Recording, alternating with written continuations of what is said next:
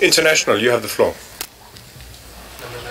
Honorable Chair, this statement is supported by People's Health Movement. We commend WHO for developing a tool to assess and manage possible conflict of interest in the area of nutrition. We raise three major concerns. First, the second step of the tool, having a risk profile of external actor, either requires that external actor discloses about its operations transparently or it requires significant capacity among member states to analyze possible conflict of interest.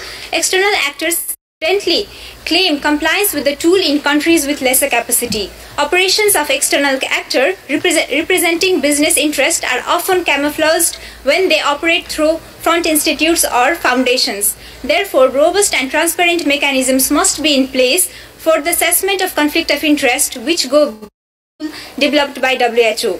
Second, we urge WHO to assist member states to build national capacity in this regard. Lastly, global public-private partnerships such as SUN, GAIN and others influence country-level nutrition policies and programs. We urge WHO to employ similar mechanism to prevent conflict of interest in global initiatives. Thank you. Thank you.